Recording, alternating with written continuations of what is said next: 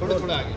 अरे आज प्यारे मियाँ को इंदौर की जिला कोर्ट में पेश किया गया था। किस पुलिस के द्वारा यहाँ पर पेश किया गया था क्या, क्या मामले हैं?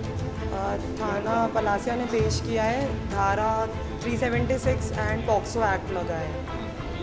एंड उनको दो दिन के लिए रिमांड दी है पुलिस रिमांड दी है सत्रह तारीख तक के लिए। तो किस तरह से अंदर पूरी प्रोसेस चली? कितने आरोपी प्यारे के छः आरोपियों को पेश किया गया है और सबकी रिमांड दी गई है। कितने दिनों की रिमांड दो दिन की रिमांड है सत्रह तारीख तक की। क्या अदालत ने किस तरह से अंदर बहस करी किस तरह से सुना और फिर किस तरह से पूरे तो अदालत ने मेडिकल चेकअप के लिए कहा है कि सभी आरोपियों का मेडिकल चेकअप होना चाहिए एवरी डे एंड उसके बाद ही होगा।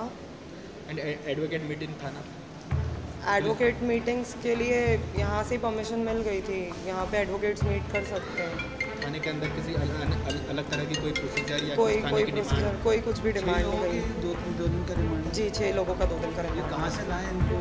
तो भोपाल से प्रोडक्शन वारंट पे लाए। भोपाल जबलपुर। प्यारे मियाँ को जबलपुर से एंड बाकी आरोपियों को भोपाल से। सभी की दो दिन की रिमांड सभी की दो दिन की रिमांड यहीं पर होगी दो दिन बाद दो दिन बाद यहीं पे आना है वापस। मेडिकल रिपोर्ट के कुछ अलग से चोट वोट के निशान बताएगा कुछ अभी तो कुछ भी नहीं पता प्यारे मैंने कुछ मेडिकल के लिए रियायत मांगी इस तरह से कुछ? बस यही रियायत मांगी है कि मेडिकल जाँच की कराई जाए। रोज़ाना? रोज़ाना। आपका नाम मेरा नाम निमिषा दुबे है। मैं गुलशन नईम को रिप्रेजेंट कर रही हूँ इस केस में।